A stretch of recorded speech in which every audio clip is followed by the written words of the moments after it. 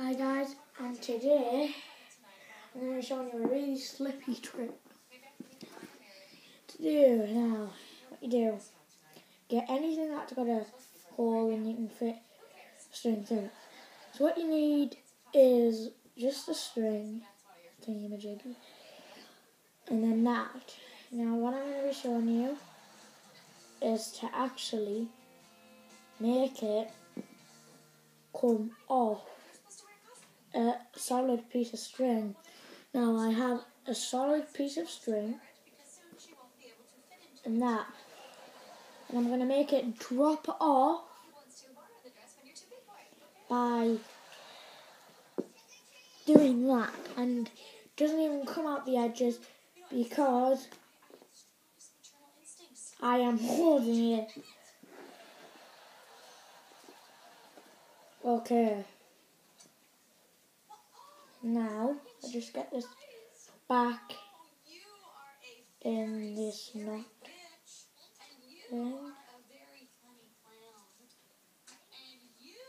There we go. Okay, so here it goes.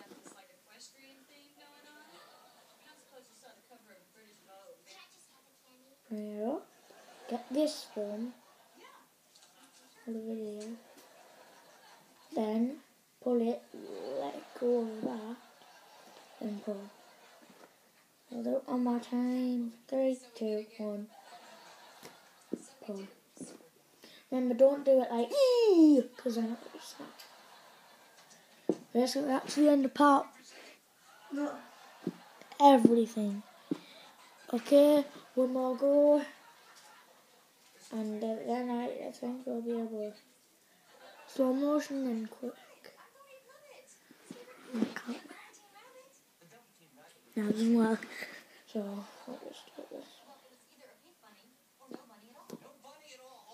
Now quick motion.